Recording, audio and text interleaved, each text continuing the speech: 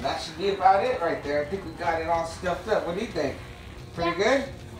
Uh, There's only one thing left to do now. Time to celebrate.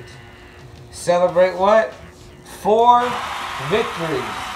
Four times being the champ. Come over here. You did a great job helping me out today. Now all you gotta do is to help me celebrate. You know what? We're even gonna share this with the turkey because I think he deserves it. Unlike so many of the other people in the Bullet Club, football league, they don't deserve, uh, you know, any of the accolades that I deserve because they've never won four times. Whoa. I am the only one that's won four times. So first a little bit for me.